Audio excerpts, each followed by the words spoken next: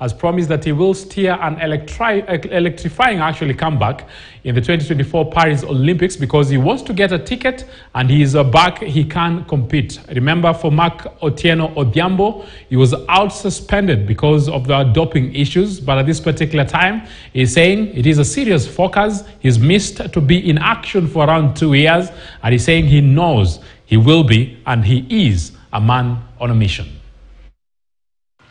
Um, during the ban period, I will say that um, I feel like it was a setback, and of which um, I accepted the results. And um, the good thing is that at least it has brought something good out of me. So I'll say that um, I didn't feel any of waste. So the thing is, it, it's just something that happened, and it made me realize now to think of the future and what's coming up ahead. So it's something that, of which as, a, as an athlete, to see like your career has being put on a pause, it's quite difficult. But the good thing is that um, at least I'm now I'm better now, and right now I'm looking forward to now Paris 2024.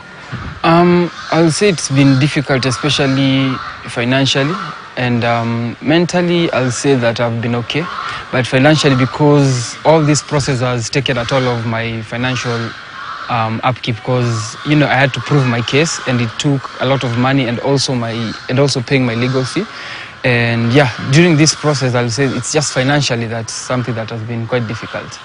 To be honest, it was quite shocking because um, there was so much scientific words that were being placed over there because the component that was found in my system.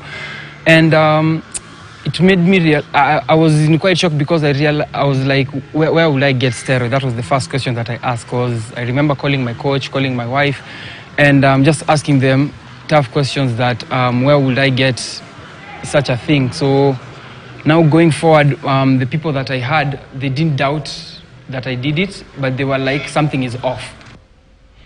Now remember, around four years ago.